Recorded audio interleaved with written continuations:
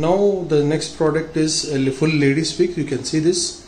It's a 100% natural human hair and uh, the length of the wig is 22 inches. And you can see inside there is a silicone based hair attachment to it. In that we can take the partition also. You can see this partition. See how natural it is? It's look like scalp only. And now we are going to keep it in on the wig as she has hair but still we can keep this wig to on the, on her head. Now you can see you can this is the way.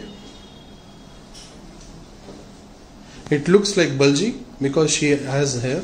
Actually this full wig is for who, who has a per- permanent hair loss or temporary hair loss. Like alopecia cancer patients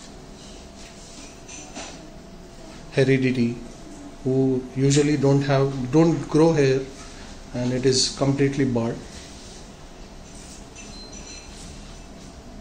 now you can see.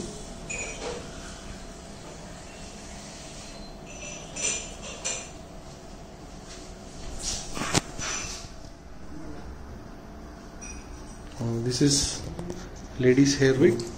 You can see how natural it is